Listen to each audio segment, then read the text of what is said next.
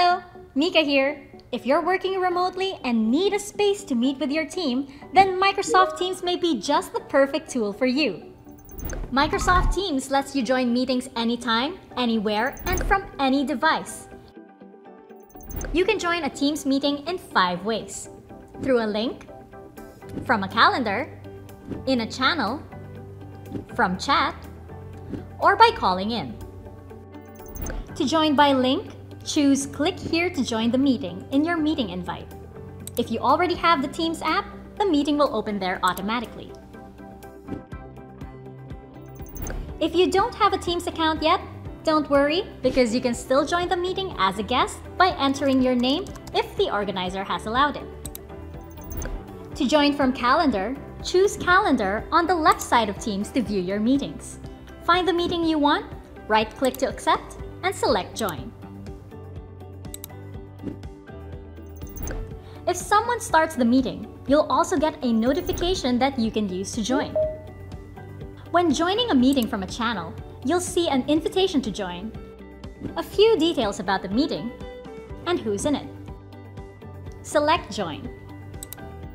If you're joining from chat and the meeting has already begun, it will appear in your recent chat list.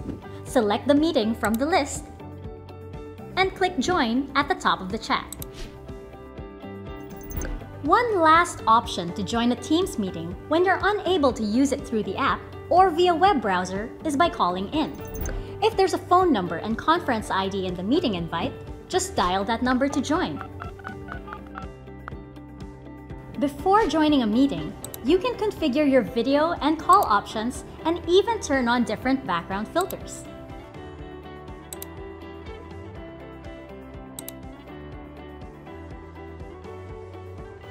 You can also see a preview of your video by hovering your mouse on the video icon and choosing to turn your camera on or off during the meeting.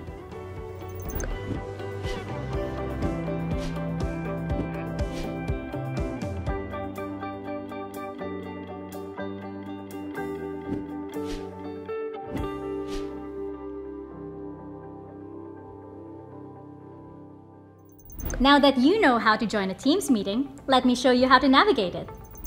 Once you're in the meeting, you can check out the buttons on the top bar to make the most out of your Teams experience. To see who else is in the session, click Participants. To start or join a conversation, click the chat button. If you wish to say something, you may click the Raise Hand button. To react to something during the meeting, you can use the Reactions button. Right beside the Reactions button is the ellipsis, where you could choose to record the session if you wish. You can also use the Share Content feature, where you can share either your whole screen or a specific window on your desktop during the meeting. You can choose from three different presenter modes, such as Standout, Side by Side, or reporter in a Teams meeting instead of sharing screen or window content only so you can be a more engaging part of your presentation. Once the session ends, you can click the Leave button. With Microsoft Teams, you can have access to everything your team needs. It's productivity and efficiency in one amazing app. Download Microsoft Teams today.